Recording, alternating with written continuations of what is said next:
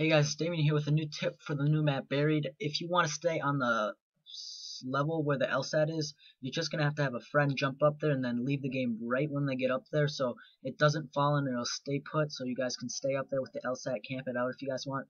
It's not really a high round thing since it's probably going to not be able to do in a public match because you go from possibly 2 to 1 person or 3 to 2 or 4 to 3 as you're getting, so you can see what I'm getting at.